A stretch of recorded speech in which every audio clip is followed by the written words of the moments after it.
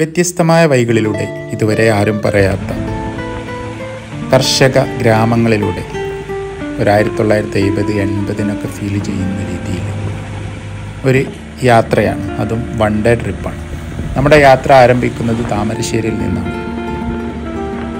ഏതൊരു മലയാളിയും പലതവണ കണ്ടതാണെങ്കിലും വീണ്ടും കാണാൻ ആഗ്രഹിക്കുന്ന ഒരു സ്ഥലമാണ് നമ്മുടെ വയനാട്ടിലെ ലക്കിടി നമ്മുടെ ലക്ഷ്യം ഗോപാലസ്വാമി ഹിൽസാണ് ബന്ദിപ്പൂരാണ് പിന്നെ മുതുമലയാണ്. ലക്കിടിയിലെ രാവിലത്തെ തണുപ്പും ആസ്വദിച്ച് ബത്തേരിയിലെ ജൂബിലി റെസ്റ്റോറന്റിൽ നിന്നാണ് നമ്മൾ ബ്രേക്ക്ഫാസ്റ്റ് സെറ്റ് ചെയ്തത്. നല്ല ഭക്ഷണമായിരുന്നു. വില ഇത്തിരി കൂടുതലാണെങ്കിലും മനസ്സിന് ഇഷ്ടപ്പെട്ടതായിരുന്നു. അതിനുശേഷം നമ്മുടെ സ്വന്തം മുത്തങ്ങ കാട്ടിലൂടെ കടന്റെ വന്യത ആസ്വദിച്ചുകൊണ്ട്. ഗുണ്ടിൽപേട്ട എത്തുന്നതിന് മുമ്പേ കിട്ടുന്ന ടോൾ ഗേറ്റ്. അവിടെ എത്തുമ്പം നമ്മൾ ലൊക്കേഷൻ ഇട്ടിട്ടുണ്ടായിരുന്നു ഹിമവത് ഗോപാലസ്വാമി ഹിൽസിലേക്ക്. അവിടുന്ന് ദാ റൈറ്റിലേക്ക് ഇവിടെ ഒരു സൈൻ ബോർഡ് കാണാം.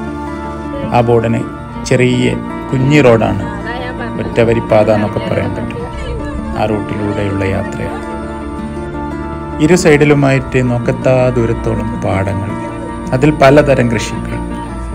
നമ്മളെ പച്ചക്കറി മാർക്കറ്റിൽ നിന്ന് വാങ്ങിക്കുന്ന അതേ രീതിയിൽ നമുക്കിവിടെ കൃഷികളെ കാണാം. ഇതിനിടയ്ക്ക് നമുക്കിതാ ഇതുപോലുള്ള ആട്ടിൻകൂട്ടങ്ങൾ ആട്ടിടയന്മാർ.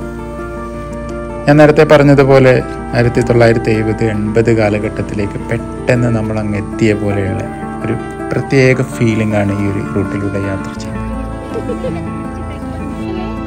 ഇതുപോലുള്ള യാത്രകൾ ഇഷ്ടപ്പെടുന്ന ആളുകൾ മാത്രമേ ഈ റൂട്ട് തിരഞ്ഞെടുക്കാവൂ. അതല്ലെങ്കിൽ നിങ്ങൾ ഹൈവേയിലൂടെ പോയിട്ട് ഗുണ്ടിൽപേട്ട പോയിട്ട് അവിടുന്ന് റൈറ്റ് എടുത്ത് ഊട്ടി റോഡിൽ പോയിട്ട് വേണം നിങ്ങൾ ഹിമവത് ഗോപാലസ്വാമി ഹിൽസിലേക്ക് പോകാൻ. ഇടക്കൊക്കെ ഞങ്ങൾ വാഹനങ്ങൾ നിർത്തി ഇതുപോലുള്ള ഗ്രാമീണതയും അതേപോലെ ഗ്രാമ കാഴ്ചകളും ഗ്രാമത്തിലെ ജനങ്ങളുമായിട്ടും അല്ലെങ്കിൽ മനുഷ്യരുമായിട്ടും ഞങ്ങൾ സംവദിച്ചു. അവരുടെ അനുഭവങ്ങളും അവരുടെ ജീവിത രീതിയും മനസ്സിലാക്കാൻ നമുക്കും നമ്മളെ കൂടെയുള്ള കുട്ടികൾക്കും സാധിച്ചു എന്നതാണ് ഇതിലേറ്റവും വലിയ കാര്യം. ഇടയ്ക്ക് ഒരു പട്ടണത്തിന്റെ മുന്നേ ആയിട്ട് നമ്മൾ ലെഫ്റ്റിലേക്ക് ടേൺ ചെയ്തു. ആ റോഡും ഇതുപോലെ തന്നെയാണ്. ഇതുപോലെ മല നിരകളാൽ ഇത്രയും ദീർഘമേറിയ ദൂരക്കാഴ്ചകളുമായി. വയനാട്ടിൽ നിന്ന് ഞങ്ങളെ കൂടെയുള്ള മഴയാണ് അതിപ്പോഴും ശരിക്കും തോർന്നിട്ടില്ല ചെറുതായി പെയ്തുകൊണ്ടേയിരിക്കുന്നുണ്ട്. ഏകദേശം പതിനേഴ് കിലോമീറ്ററാണ് നമുക്ക് മെയിൻ ഹൈവേയിൽ നിന്നും ഹിമവത് ഗോപാലസ്വാമി ഹിൽസിലേക്ക് ദൂരമായിട്ട് കാണിച്ചിട്ടുള്ളത്.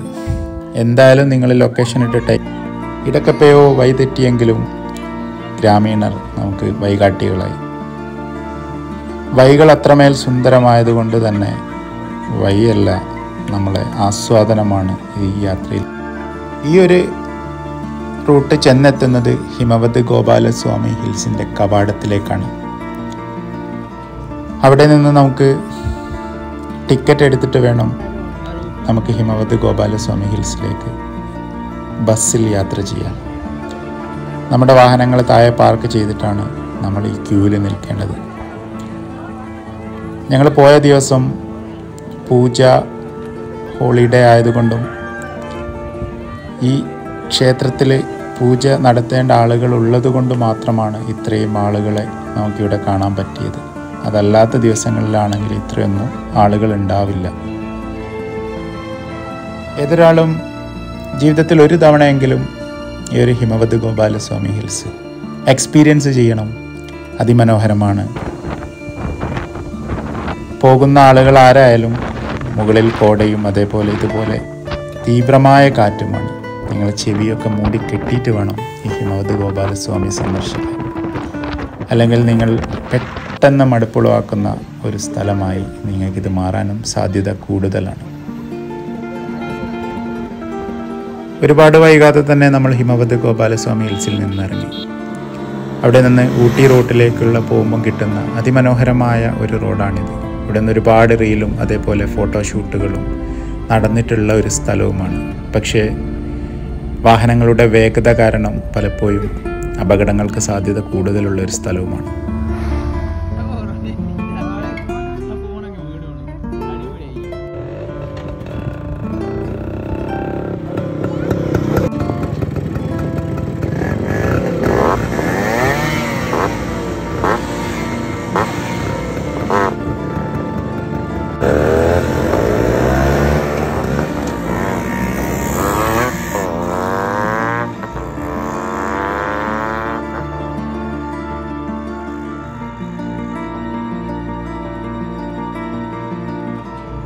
ഇടക്കപ്പയോ വിശപ്പിന്റെ കാഠിന്യം കൊണ്ട് ചെറിയൊരു ഗ്രാമത്തിലേക്ക് വാഹനം ഓടിച്ചു ഞങ്ങൾ അവിടെ വാഹനം വെച്ചിട്ട് നമ്മൾ തയ്യാറാക്കി കൊണ്ടുപോയ ചിക്കൻ ബിരിയാണിയാണ്. അതും ആ ഒരു ആംബിയൻസിൽ ഇരുന്നിട്ടായിരുന്നു ഞങ്ങൾ കഴിച്ചിരുന്നത്. പലപ്പോഴും ഇതുപോലുള്ള വൺ ഡേ ട്രിപ്പിലേക്ക് നമ്മൾ ഇതുപോലെ ഭക്ഷണം തയ്യാറാക്കിയിട്ടാണ് യാത്ര പോവാറ്.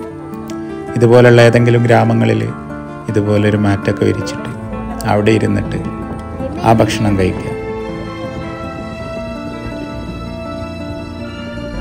നിങ്ങൾ ഭക്ഷണം എടുക്കാതെ പോകുന്നവരാണെങ്കിൽ ഈ റോഡ് ചെന്നെത്തുന്നത് ഗുണ്ടിൽപേട്ട ഊട്ടി റോട്ടിലേക്കാണ്. അവിടുന്ന് റൈറ്റ് പോയി കഴിഞ്ഞാൽ രണ്ട് മൂന്ന് നല്ല ഹോട്ടലുകൾ കാണാൻ പറ്റും. അവിടെ നല്ല ഭക്ഷണം കിട്ടുന്ന സ്ഥലമാണ്. ഇതിനിടയിലാണ് നമ്മൾ ഒരു ഗ്രാമവാസിയെയും ഒത്തിരി ആടുകളെയുമായിട്ട് അവർക്ക് മലയാളം ഒത്തിരി പോലും അറിയില്ല. നമ്മൾ പേര് ചോദിച്ചിട്ട് പോലും അവർക്ക് പറയാൻ പറ്റുന്നില്ല. ഈ റൂട്ടിൽ തന്നെയാണ് ജെണ്ടുമല്ലിയുടെ വിശാലമായ ഒരു തോട്ടം നമുക്ക് കിട്ടിയിരിക്കുന്നത്. ഇവിടെ ഇറങ്ങി ഒരുപാട് ഫോട്ടോസും അതേപോലെ റീൽസും ഒക്കെ സെറ്റ് ചെയ്തിട്ടാണ് നമ്മളെ യാത്ര മുന്നോട്ട് പോയിക്കൊണ്ടിരിക്കുന്നത്.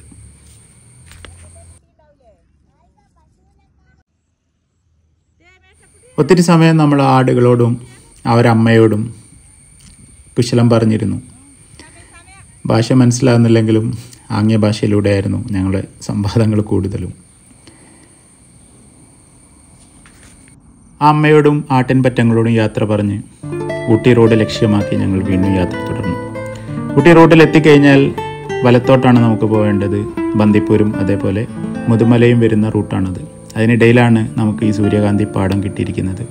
ഇരുപത് രൂപ ചാർജ് ചെയ്ത് ആളുകളെ കയറ്റി ഫോട്ടോ എടുക്കുന്ന ഒരു സിസ്റ്റമാണ്. വലിയ പാടം മൂന്നര നാല് മണിയായപ്പോഴേക്കും നമ്മൾ ബന്ദിപ്പൂർ കാട്ടിലേക്ക് പ്രവേശിച്ച് കഴിഞ്ഞിട്ടുണ്ടായിരുന്നു. വൈകുന്നേര സമയത്തിലാണ് കൂടുതൽ സൈറ്റിംഗ് കിട്ടുക എന്നാണ് എന്റെ ഇത്രയും കാലത്തെ എക്സ്പീരിയൻസ് ഒരുപാട് മാനുകളും മയിലുകളും ഇടക്കപ്പയോ കരടിയും പിന്നെ ആനയും ചിലതൊക്കെ നമുക്ക് പകർത്താൻ പറ്റി ചിലതൊക്കെ വാഹന തിരക്ക് കാരണം നമുക്ക് പകർത്താൻ പറ്റാത്തതുമായി വന്നു.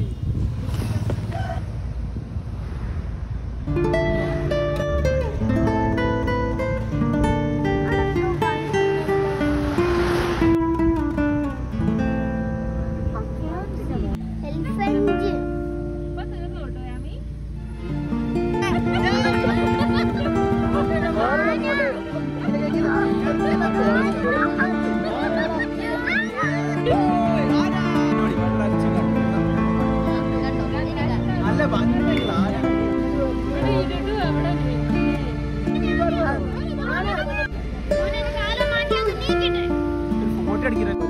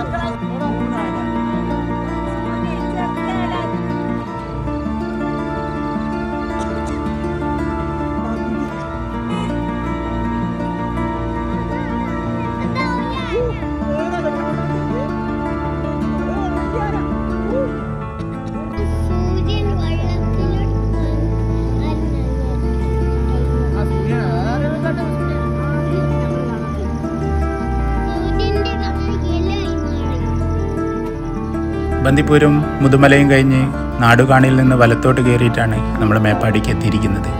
അവിടെ നിന്ന് നേരെ നമുക്ക് നിലമ്പൂർ വഴിയും നാട്ടിലേക്ക് എത്താൻ പറ്റും.